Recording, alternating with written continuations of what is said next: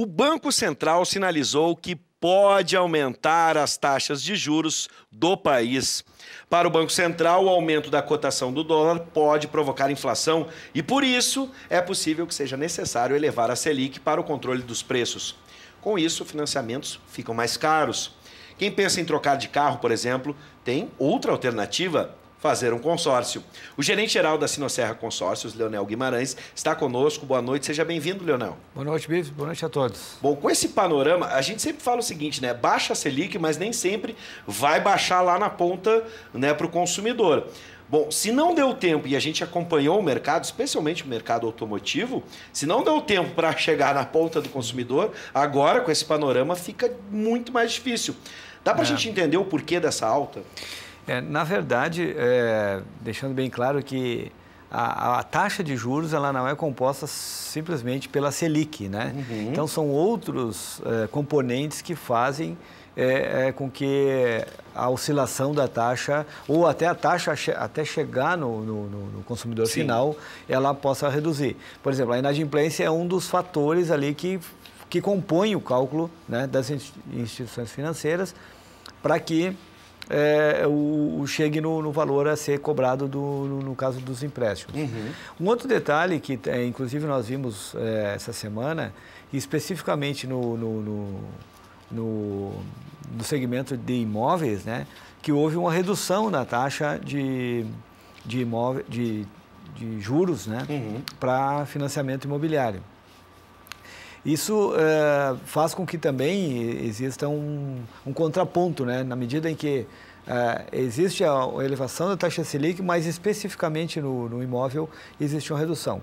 Só que em relação ao consórcio, mesmo essa, com essa redução, que passou a 8,75 ao ano, é, comparado ao consórcio ainda é muito elevado. Sim. Entende? Mesmo com a redução, o consórcio ainda é uma, uma, uma opção muito interessante, porque mesmo com essa alta, ele ainda, se torna, ainda é. A diferença é muito grande entre Sim. financiamento e, e consórcio. E outro detalhe também é que o, o, consórcio tu pode fazer um prazo muito menor, né? Ao ponto que para tu conseguir uma taxa boa ou uma taxa é, menos elevada, é, os prazos são muito longos, né? E nem todo mundo está disposto a ficar muito tempo pagando financiamento, né? Sim. Além disso, não sei se tu concorda, o acesso ao financiamento não é para todo mundo. As exigências são muito sem grandes. Sem dúvida, sem dúvida. Né? E no caso do consórcio, as exigências, pelo que me consta, são bem menores, são... tanto para carro quanto para imóvel. Sim, justamente por isso, porque os prazos são menores, né? Então, uhum. o período em que se vai existir esse, esse, esse contrato, vamos dizer, é muito menor. Sim. Já no, no, no, no, no financiamento imobiliário, o prazo sendo muito mais alto, muito maior, ele exige uma garantia um pouco maior, maior né? uma estabilidade financeira do, do, do, proponente muito maior também. Então, esses, esses, é, a instituição financeira se cerca desses cuidados claro. e nem todos eh, se encaixam né, nesse, nessas exigências. Por Sem isso dúvida. que se torna um pouco mais difícil, né? Vou pedir para o Guilherme fazer uma simulação. O que, que a gente pode simular? O que, que tu aconselha hoje? Automóvel ou imóvel? Pode ser um imóvel. Imóvel? Né? Vamos fazer é, um imóvel, já que a gente estava falando sobre financiamento Isso, também. É. Vamos simular a faixa de preço. O que, que tu acha um bom imóvel? Em torno de 200, 200 a 300. 200 a 300, tá bom? Isso. Fazer 200 a 300, porque eu quero chamar atenção também quanto à questão do prazo. Há variações dentro também. do consórcio. Tem para quem tem mais pressa e menos pressa, né? Isso. A gente tem até de 70 meses, que é um grupo muito rápido, né? Isso. Né? E tem, por exemplo, de 150, 180 meses, é. né? A gente pode ir vendo. Mas vamos ver dos Chega, chega até dos 200 tipos. meses, né? Chega até 200 meses, tá ali, ó, por exemplo, um de 200 meses, 250 mil, é o grupo 1040, né? A gente tem ali ó, parcelas de 1.500, volta de 1.600 a 180 meses, 1.700. Uhum. Sempre lembrando que eu, tem uma coisa que eu acho muito interessante do consórcio. Né? Por exemplo, vamos falar sobre os lances agora, para quem tem pressa e já quer retirar, ou quem vai eh, ter a possibilidade, quem vai aguardar o sorteio. Mas no caso do lance, todo o dinheiro que eu coloco ali no lance é meu. É amortização. É amortização. Né? Exatamente. Isso é uma grande vantagem, porque é, é, hoje no mercado existem algumas, é, nós chamamos de cartas contempladas, né, que uhum. é uma operação totalmente lícita, não, tô, não, não se faz nenhuma restrição. Inclusive, qualquer pessoa que seja titular de um consórcio contemplado e esteja é disposto a colocar no mercado, ele pode né, transferir para. e cobrar o preço que ele entender que é viável para aquela operação. É um investimento. É, é um investimento, claro. exato. Tem, inclusive tem muitos clientes que fazem isso, né? Sim. Que, que aderem ao consórcio, contemplam e põem essas cartas no mercado. Uhum.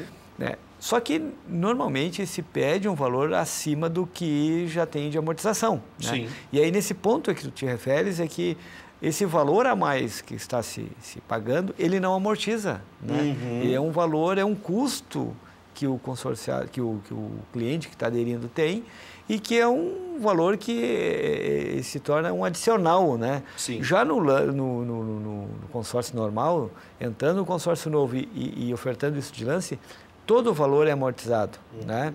Então se ganha muito tempo. E, uma coisa interessante, no momento do lance, o consorciado mesmo, ele opta se ele quer reduzir a parcela né, ou se ele quer reduzir o prazo dele, né? Então vamos supor, eu vou pegar esse exemplo aqui para ficar bem claro. Vamos pegar o grupo 1040, tá? Aí eu tenho lá, eu optei por 200 meses, minha parcela é de 1.593 com 75 centavos. Aí eu vou dar um lance. Eu tenho ali guardado, fiz economia né, com a patroa e tudo mais, e a gente vai dar, pode ser 40 mil. Uhum. Tá? Eu vou dar 40 mil, eh, que olha, não dava nem para começar a obra, se fosse o caso, né? Se a gente fosse parar para pensar. Sim. Aí eu dou esses 40 mil. Fui contemplado. Passo então esse valor, eu posso optar em ter agora 210 mil uhum. Que eu posso dividir nas mesmas 200 parcelas. Exatamente, é. Ou então eu posso, por exemplo, reduzir esse número. Isso. Eu já passo, então, contando aquelas parcelas, já passo para a parcela número cento e tanto. Isso, é. Porque se ele escolhe é, reduzir a parcela, ele continua no mesmo prazo. Né? Uhum. Né? Mantém o mesmo prazo. Como, a, como o saldo devedor é menor, a parcela vai diminuir. Claro. Né? Ou eles, não, eu quero continuar com a mesma parcela que eu estou hoje, que é uma parcela que entrou no meu orçamento, está legal, estou conseguindo pagar. Então ele vai terminar antes dos demais colegas de grupo. Sim. Né? Ele encerra antes os e os demais colegas de grupo vão até o final. Fantástico. Então, é uma opção que o cliente tem nesse momento da, da, da contemplação. Né? Por isso que a gente insiste tanto, Leonel, de que é a melhor forma de compra parcelada. No caso do automóvel, eu acho mais fantástico ainda. Uhum. Porque em vez de você dar aquela entrada e financiar o resto, e aí vai pagar um carro e meio, porque vai incidir juros e, e o troço vai ficar muito mais caro, você pega esse dinheiro da parcela e dá de lance, isso. e é uma compra parcelada com a parcela isso. já ali. E se nós pegarmos um grupo grupo de, por exemplo, de 36 meses ali, Sim. que é uma parcela fixa, é, e, e, comparar o, a taxa de juro efetiva com o taxa zero, uhum a taxa efetiva desse grupo é menor que o taxa zero, entendeu? Que, a, que o famoso taxa, taxa zero. zero. exatamente. Não está nem falando quando incide juros exatamente. Né, 99, exatamente. Enfim, Isso aí, 99. esse cálculo o nosso consultor pode fazer para qualquer interessado e para ele poder ter uma noção da diferença que é o financiamento para um consórcio. Conta um segredo para mim, o pessoal da Sinosserra criou esse grupo fixo de 36 para comparar e não deixar dúvidas. Né, se você for financiar em 36 vezes é. ou for para um grupo de 36, é. a diferença é absurda. E, e, mais um detalhe importante também, esse grupo, todas as vezes que ele encerra, sobra dinheiro para os consorciados. Sim. Mesmo ele não tendo fundo de reserva. Sim. Por que isso? Porque os recursos eles são aplicados né, uhum. no, no, mercado financeiro. Claro. O grupo ele é obrigado, ele é obrigado a, a ter aplicação. É, só que como o crédito não aumenta, chega no final sobra dinheiro. E esse dinheiro volta então para os consorciados. Quer ver um exemplo? Vamos fazer um de 36 aí, Guilherme. Por exemplo, tá? O 5236, 30 mil, que dá para comprar um carro zero hoje, um modelo uhum. popular, que hoje vem bem completinho, ou até mesmo um usado, uhum. e um bom usado, tá? Bom usado. Um sim. bom usado. E eu já estou fazendo propaganda do meu, tá? Que tá nessa faixa aí. completinho, tá? Me liga, me, me, chama no Facebook. Tá completinho o meu. Tá? Me oferecendo aí nas concessionárias, eu vendo para ti, tá? Então o negócio é o seguinte, ó. 30 mil. Aí você pega o seguinte, de, vamos supor que fosse no, no, no financiamento, né? uhum. né? Eu ia dar entrada e mais 36 financiando. Nesse aí eu dou, vamos botar 5 mil.